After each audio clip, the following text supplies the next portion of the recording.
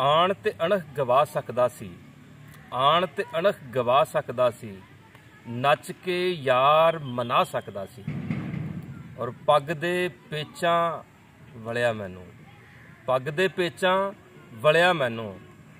ਤੇਰੇ ਪਿੱਛੇ ਆ ਸਕਦਾ ਸੀ। ਔਰ ਤੂੰ ਨੇ ਯਾਰ ਹੰਗੂਰਾ ਭਰਿਆ। ਤੂੰ ਨੇ ਯਾਰ ਹੰਗੂਰਾ ਭਰਿਆ। ਮੈਂ ਤੇ ਗੱਲ ਵਧਾ ਸਕਦਾ ਸੀ।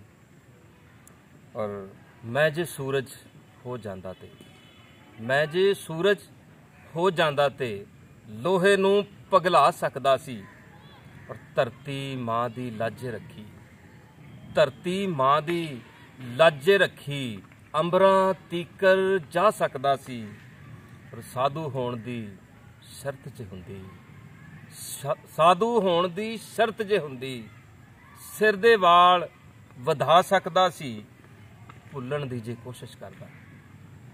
ਭੁੱਲਣ ਦੀ ਜੇ ਕੋਸ਼ਿਸ਼ ਕਰਦਾ, ਤੈਨੂੰ ਯਾਰ ਭੁਲਾ ਸਕਦਾ ਸੀ।